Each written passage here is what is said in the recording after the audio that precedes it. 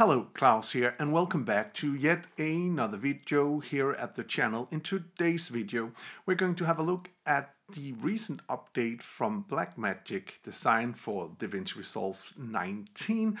It's with the public beta version 6. There are some new features, and one of the features are stingers, text stingers. So we're going to have a look at what that is, how it works, and what you can do with them if you are using DaVinci Resolve 19 version 6 beta. So without further ado, let's go right to the video.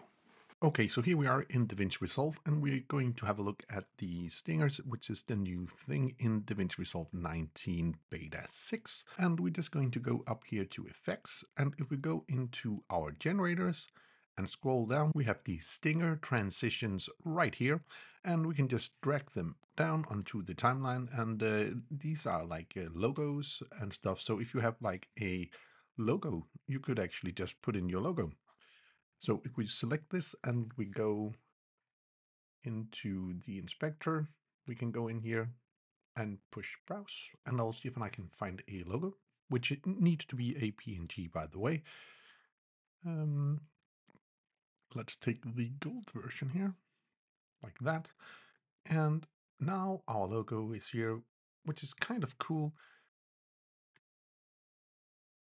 So super cool is actually we can go into the, uh, we have this uh, glow function here. So we could, we could actually change the glow. You can see how that is and the glow size.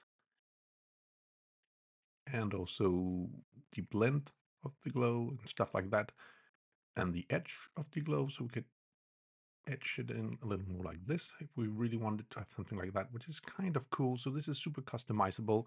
And of course, we could uh, also add in keyframes and stuff like that. Also, we have light rays, which we can go in here and can put in the intensity of that as well. So now we have totally changed our little logo here into something else which I think is kind of cool and very fast, by the way. We do also have like a 3D text rotation, uh, and we can have a look here how that is. Super cool. We could easily select this text and go up and write something else, change it how we want it to be. So now it's going to, let's go from top to bottom instead. So now it's going to go from top to bottom, or we, and we can change that around here, whatever we want. We'll just keep it at the default here. And then, of course, we could change the color and all of these normal things. Also, we could go in and change something like the extrusion depth. So it will be way bigger and the bevel. Stuff like this you would normally do in Fusion. You can actually do it right here. So now we have something else made pretty fast that way. Pretty cool. There are also a lot of other ones. For instance, we have this one which we again can use as a transition from one clip to another like this. And then we could just simply change the text in here to something else. Let's call it summertime. Something like that. So now we have like a cool little transition. We made very fast. The only downside of using the, uh, at least this one, are that you can't really change the colors, which is kind of a shame. Also, we could, uh, we have, there is a lot of different ones. So definitely it's fun just to have a look at them. Also, if you want to create or build your own, of course, you could just highlight your clip and go into Fusion. And then you can just click here and uh, I know my Fusion page is really large, so I'll just make it a little shorter.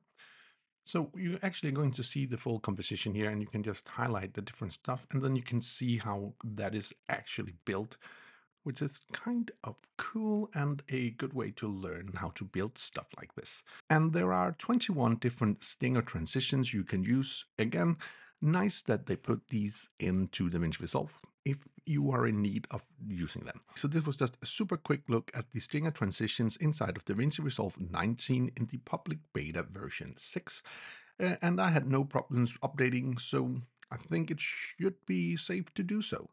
Anyway, I do hope you found this little video useful. If you did, please hit that subscribe button, give the video a like, share with your friends if you think it would help them out, and if you want to be notified every time there's a new video on this channel, please hit that bell icon down in the corner.